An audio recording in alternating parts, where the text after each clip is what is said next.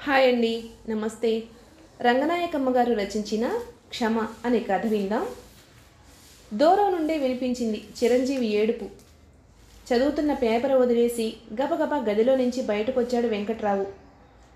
తండ్రిని చూసిన చిరంజీవి బావురుమంటూ కాళ్ళకు చుట్టుకుపోయాడు. కొడుకుని లేవదీస్తూ తండ్రి ఏమైందమ్మా? ఎందుకు ఏడుస్తున్నావు ఛ అలా ఏడవచ్చునా? అంటూ వీపు నిమురుతూ బుజ్జగించాడు. చిరంజీవి చెప్పలేక చెప్పలేక వెకిల్ మధ్య నన్ను కుంటి కుంటి అంటూ వెక్కిరిస్తున్నారు నాన్న వాళ్ళంతా అంటూ వీధిలో గోలగా ఆడుకుంటున్న పిల్లల కేసి చూపించాడు.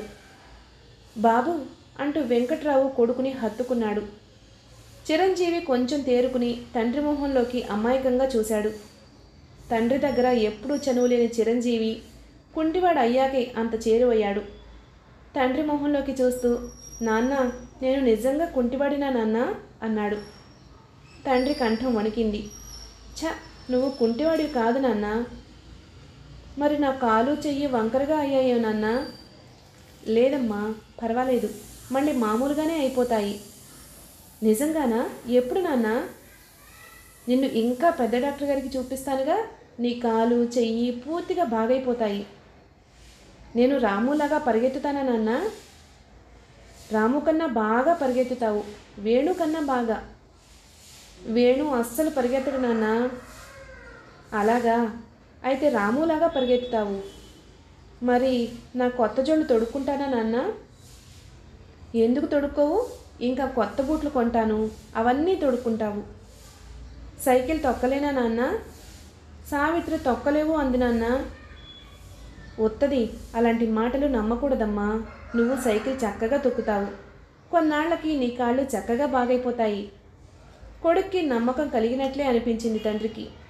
నాన్న అన్నాడు కొడుకు మళ్ళీ. ఏమిటమ్మా? అంటూ ఆప్యాయంగా అడిగాడు తండ్రి. అప్పుడు నాకు పెద్ద జ్వరం వచ్చింది కదూ? వెధవ జ్వరం. అప్పుడే పోయిందిగా? అప్పుడే కదూ నాన్న? నా కాలు ఇలా అయిపోయింది? అవునమ్మా. జ్వరం వస్తే కాళ్ళు ఇలా వంకరగా అయిపోతాయే నాన్న. ఈసారి కూడా అవునమ్మా అనలేకపోయాడు తండ్రి. కొడుకుని గట్టిగా గుండెలకు అదుముకున్నాడు వెచ్చటి కన్నీటి బొట్లు బొగ్గల మీద పడితే తెల్లబోతూ చూశాడు చిరంజీవి. ఏడుస్తున్నావేనన్నా గబగబా కళ్ళు తుడుచుకుని లక్ష్మి అంటూ కేక పెట్టాడు వెంకట్రావు. పిల్లాన్ని ఎత్తుకుని లోపలకు తీసుకువెళ్ళాడు. బాబుని కాసేపు నీ దగ్గర కూర్చోబెట్టుకో లక్ష్మి. ఎండ తగ్గాక బయటకు తీసుకెళ్తాను. ఆడుకుంటానని వెళ్ళాడుగా. పిల్లలంతా వీధిలో ఆడుకుంటున్నారుగా అంటూ లక్ష్మి కొడుకుని అందుకుని దగ్గర నిలబెట్టుకుంది. ఏం ఆడుకుంటాడులేదు వాళ్ళంతా ఏదేదో అంటారు అన్నాడు వెంకట్రావు. అదేం చేస్తాం వాళ్ళేమంటారు? ఏమిరా వాళ్ళేమన్నారు నిన్ను? వెంకట్రావు విసుక్కున్నాడు. అదిగో అవన్నీ మన్నాడకు మళ్ళీ ఏడుస్తాడు. కాసేపు నీ దగ్గర కూర్చోపెట్టుకో అంటూ గబగబా గదిలోకి వెళ్ళిపోయాడు. మనస్సంతా పిండినట్టయిపోసాగింది. ఆరోగ్యంగా రెండు కాళ్ళతో లేడికన్నా చురుగ్గా గంతులేసే పిల్లాడు కుంటివాడయ్యాడు. పుట్టినప్పుడు చక్కటి అవయవాలతోటే ఏ లోటు లేకుండానే పుట్టాడు. ఏడేళ్ళు నిండకుండానే అవిటివాడైపోయాడు. నేను జోళ్ళు వేసుకుంటానా నాన్న? రాములాగా పరిగెత్తుతానా నాన్న? సైకిల్ తొక్కలేనా నాన్న? ఎంత సహజమైన కోరికలవి. బిడ్డకి అవి ఎంత అసంభవమైపోయాయి. వెంకట్రావు కళ్ళు రెండు మూసుకుని వెనక్కి వాలిపోయాడు. ఏం చెప్తాడీ నాన్న? ఏం చెప్పగలడీ నాన్న? ఆరు నెలల నుంచి ఎన్నోసార్లు కళ్ళ ముందు కదలాడిన గతం ఇంకోసారి కదిలింది. ఆ రోజు వెంకట్రావు అకారణంగా ఆఫీసర్ కోపానికి గురై హెచ్చరికలు చేయించుకుని అభిమానంతో ఉడుకుతూ ఇంటి ముఖం పట్టాడు. వెంకట్రావు గారు అన్న పిలుపైతే వినబడింది కానీ వెంకట్రావు ముందుకే నడిచాడు. ఎంతమంది వెంకట్రావు లేరు గనక అని అనుకుంటూ. వెంకట్రావు గారు మిమ్మల్నేనండి? అంటూ ఆ పిలుపు వెంకట్రావునే వెన్నాడింది. విసిరిగా పోతున్న వెంకట్రావు చిరాగ్గా వెనక్కి తిరిగి చూశాడు. రాని నవ్వు తెచ్చుకుంటూ మీరా మాస్టారు నన్ను పిలిచారా? అన్నాడు. అవును బాబు కాస్త ఖాళీ చూసుకుని మీ ఇంటికైనా రావాలనుకున్నాను. మీ వాడి గురించి కొంచెం చెప్పాలని. ఏమిటి మాస్టారు మా అబ్బాయి ఏం చేశాడు? అబ్బే ఏదో చేశాడని కాదు. బొత్తిగా చదవడం లేదు. ఎంతసేపు అల్లరి పక్క పిల్లలతో పేచీలు. ఏది చెప్పినా చదవడు రాయడు. కాస్త మీరు కూడా ఇంటి దగ్గర చదివించాలి బాబు. మాస్టర్ మాటలకు అడ్డు తగిలాడు వెంకట్రావు. అలాగా నేను చూస్తాను మాస్టారు అన్నాడు. వాడి తల్లితో కూడా కాస్త శ్రద్ధ చేయమని చెప్పు బాబు. అలాగేనండి నాకు చెప్పి మంచి పని చేశారు. కొడుకు మీద వెంకట్రావుకి చాలా కోపం వచ్చింది. మాస్టారు అంత గోల పెడుతూ చెప్పారంటే వీడు చాలా అల్లరి నేర్చాడన్నమాటే. చదువు సంధ్య లేకుండా ఎలా తయారవుతున్నాడా? ఇంటికి వస్తూనే వెంకట్రావు లక్ష్మి చిరంజీవి ఇంట్లో ఉన్నాడా? అని అడిగాడు. ఇలాంటి వేళ వాడు ఇంట్లో ఉండడం కూడానా? అంటూ వచ్చింది లక్ష్మి. దారిలో కనబడి వాళ్ళ మాస్టర్ ఏం చెప్పారో తెలుసా? వీడు బొత్తిగా చదవకుండా వెధవలా తయారవుతున్నాడట. ఎప్పుడూ అల్లరేనట. మధ్యలోనే అంది లక్ష్మి. ఆ మాట నేను మాత్రం ఎన్నిసార్లు చెప్పలేదు మీకు? ఏడేళ్ళ పిల్లాడు ఎంత చక్కగా చదువుకోవాలి? నా మాట వింటాడా ఏమన్నానా? వాడు ఏం చదువుతున్నాడో ఎలా చదువుతున్నాడో ఎన్నడైనా పట్టించుకున్న పాపాన పోయారా? అంది ఎత్తి పొడుపులాగా. సరేలే వాడిలా పిలు. తలుచుకున్నప్పుడే తాత పెళ్ళా? బయట ఆడుకుంటున్నాడు కాసేపు ఆడుకొనివ్వండి. ఆట లేదు గేటా లేదు ఆడింది చాలు ముందు పిలువాణ్ణి లక్ష్మి వీధి గుమ్మం కేసి వెళ్ళింది. గోలగోలగా ఆడుకుంటున్న పిల్లల్ని చూస్తూ నిలబడింది. వెంకట్రావు బట్టలు మార్చుకుని కాళ్ళు కడుక్కుని వచ్చి కూర్చున్నాడు. తల్లి సైగతో పరిగెట్టుకుంటూ వచ్చిన చిరంజీవి పకపకా నవ్వుతూ అమ్మా అమ్మా నేను జోరుగా పరిగెడుతుంటే నన్ను పట్టుకోలేక సీత బోర్లా పడిందే భలే పడింది అంటూ మళ్ళీ పగలబడి నవ్వాడు. తప్పు ఎవరైనా పడిపోతే నవ్వొచ్చినా నాన్న పిలుస్తున్నారు నిన్ను. ఎందుకు? నీరు గారిపోయాడు చిరంజీవి రై. ఇలారా లోపల నుంచి గర్జించాడు తండ్రి. వెధవ ఆటలాపి నీ పలక పుస్తకాలు తెచ్చుకో. పిల్లాడు తెల్లబోయాడు. ఏరా నుంచున్నావలాగా. అర్థం కావడంలా? తమరు చాలా గొప్పగా చదువు వెలగబెడుతున్నారు అని మీ పంతులు గారు చెప్పారులే. మీ పాండిత్యం చూసి సంతోషిద్దామని కదలవే అంటూ హోంకరించాడు తండ్రి మళ్ళీ. చిరంజీవి భయంగా తల్లికేసి చూశాడు. తల్లి పుస్తకాల సంచి తెచ్చి అందించింది. పర్వాలేదులే కాసేపు చదువుకో అనేసి వంటింటికేసి వెళ్ళిపోయింది. కాసేపటికి సంచి పట్టుకుని వచ్చి కూరగాయలకు వెళ్ళొస్తాను చదువుకోనన్నా అని కొడుకుతో చెప్పి వెళ్ళిపోయింది బయటకు. చిరంజీవి నిస్సహాయుడైపోయాడు. సంచి ముందు వేసుకుని కూర్చున్నాడు. తండ్రి దగ్గర బొత్తిగా చనువు లేదు. బిక్కమొహం వేసి కూర్చున్న కొడుకుని చూస్తుంటే వెంకట్రావుకి జాలి వేయలేదు. పిల్లలు చాలా క్రమశిక్షణతో పెరగాలి అని అతని అభిప్రాయం. పెద్దల్ని మాస్టర్లని గౌరవించాలి. తెలివితేటలతో చదువుకోవాలి. నియమం ప్రకారం ఆడుకోవాలి. అల్లరి చేస్తే మితంగానే చేయాలి. మంచి మంచి అలవాట్లు నేర్చుకోవాలి. అలా పెరిగిన పిల్లలకు గొప్ప భవిష్యత్తు ఉంటుంది అని అతని నమ్మకం. కొడుకు అలాగే పెరుగుతున్నాడు అని ఇన్నాళ్ళుగా నమ్ముతూ వచ్చాడు. అదంతా అబద్ధం అనుకుంటే నిజంగా మతిపోయినట్లే అయింది వెంకట్రావుకి. ఎందుకలా చూస్తావు? గుణింతాలన్నీ రాయి. హఠాత్తుగా ఆజ్ఞాపిస్తున్నట్టుగానే అన్నాడు. తను ఏదో పుస్తకం తిరిగేస్తూ కూర్చున్నాడు. పావు గంట గడిచిపోయింది. రాసావా? అంటూ పలక చూసిన వెంకట్రావు తెల్లబోయాడు. ఏ? ఎందుకు రాయలేదు? చిరంజీవి వణికిపోతూ అన్నాడు. రావు నాన్న వెంకట్రావు తీక్షణంగా చూశాడు. కొంతవరకు తనను అదుపులో పెట్టుకున్నాడు. సరే డిక్టేషన్ రాయి అంటూ తేలికైన మాటలేవో పది వరకు చెప్పాడు. పలక మీదకి ఎక్కినవే నాలుగు అందులో మూడు తప్పులు. మళ్ళీ కొడుకు ముఖంలోకి కోపంగా చూశాడు తండ్రి. సరే లెక్కలేమైనా వచ్చా? అడ్డంగా తల తిప్పాడు చిరంజీవి. కొన్ని పోనీ అంకెలైనా వచ్చా? ఏది వింటాను? యాభై వరకు అప్పచెప్పు అన్నాడు. బిగుసుకుపోతున్న కంఠం పెగలించుకుని చిరంజీవి ఒకటి రెండు అని ప్రారంభించి పదకొండు దగ్గర ఆగిపోయి ఏడుపు ముఖం పెట్టాడు. ఇక రావా? అన్నాడు పిల్లాడు వణుకుతూ. నిన్ను బళ్ళో వేసి సంవత్సరం దాటిపోయింది. ఇప్పటికీ రవ్వంత చదువు కూడా అంటలేదు. ఇంతకాలం నువ్వేం చేసినట్లు? మీ పంతులు గారు సరిగా చెప్పడం లేదా? అలా గొర్రెలా తల తాటించటం కాదు. నోరు తెరిచి మాట్లాడు. ఇంట్లో అమ్మ చెప్తోంది కదా. ఎందుకింత బండవెదవయ్యావు?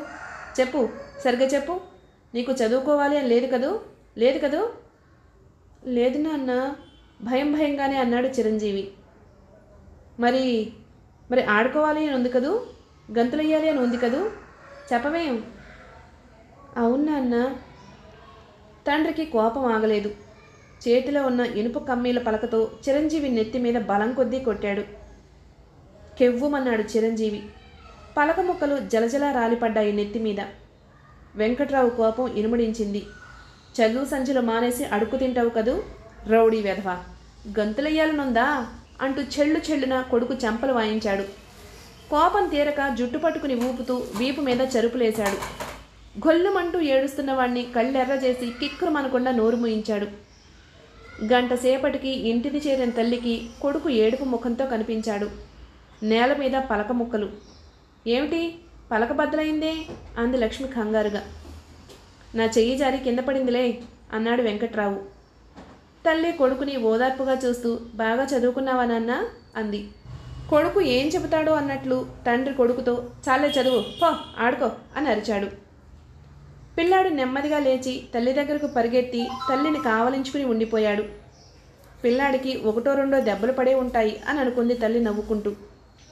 అర్ధరాత్రి నిద్రలో కెవ్వుమంటూ అరిచాడు చిరంజీవి.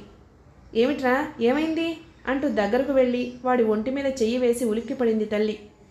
అప్పటికప్పుడు థర్మామీటర్ తీసి చూసింది. నూట మూడు పైన లక్ష్మి గుండెలు దడదళ్ళాడాయి అబ్బాయి ఒళ్ళు జ్వరంతో పేలిపోతుందండి అంది భర్తతో.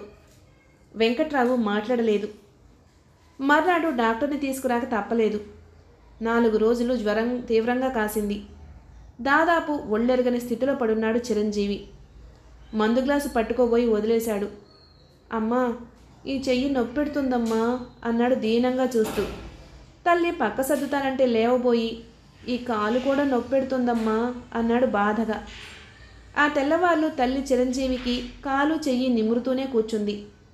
ఆ సంగతి వెంకట్రావుకి చెప్పింది. వెంకట్రావు డాక్టర్కి చెప్పాడు. డాక్టర్ చిరంజీవికి ఎక్స్రేలు తీయించి చివరకు తేల్చాడు. అబ్బాయికి తల మీద ఏదో దెబ్బ తగిలి ఉంటుంది. ఎడంవైపు నరాలు దెబ్బతిన్నాయి. అందుకే కుడి భాగంలో కాలు చెయ్యి ఇలా అయ్యాయి. వెంకట్రావు అదిరిపడ్డాడు. దెబ్బ? వాడికి ఏం దెబ్బ తగులుతుంది డాక్టర్ గారు? అలాంటిదేమీ లేదండి అన్నాడు కంగారుగా. చిన్నపిల్లలకు ఎన్ని దెబ్బలు తగులుతాయో ఎలా చెప్పగలం? ఏ ఆటలోనో తగిలుంటుంది అంటూ సానుభూతి చూపించాడు డాక్టరు. మరి వైద్యం చేస్తే బాగవదా డాక్టర్ గారు? చూద్దాం అంటూ ఏవేవో కొత్త మందులు రాసి ఇచ్చాడు. డాక్టర్ రాసిచ్చే కొత్త మందులన్నీ వెంకట్రావు తెస్తూనే ఉన్నాడు. తల్లి కొడుకు చేత తాగిస్తూనే ఉంది. చిరంజీవి కాలు చెయ్యి అవిటిగానే ఉండిపోతున్నాయి. కొడుక్కి జ్వరం వచ్చినప్పుడు వెంకట్రావుకి అనుమానంగానే ఉంది.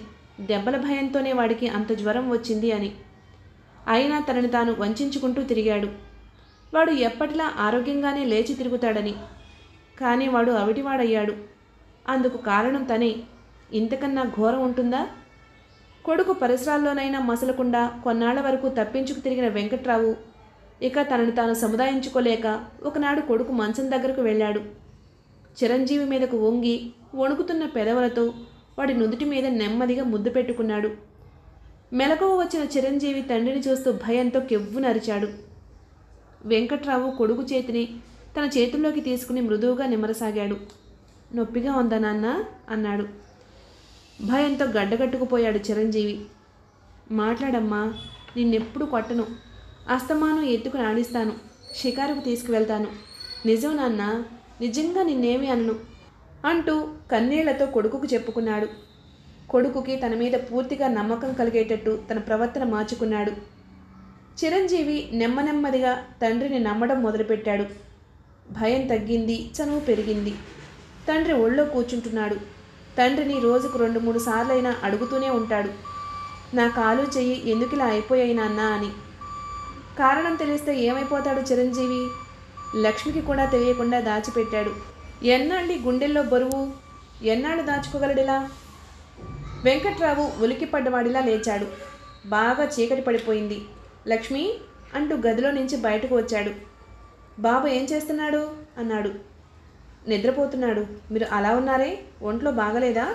అంది తేరిపార చూస్తూ. నువ్వు ఇలా రా ఒకసారి. లక్ష్మి దగ్గరకు వచ్చింది బాబు మళ్ళీ ఏమైనా అన్నాడా? రెండు బిస్కెట్లు పెడితే తిని నిద్రపోయాడు.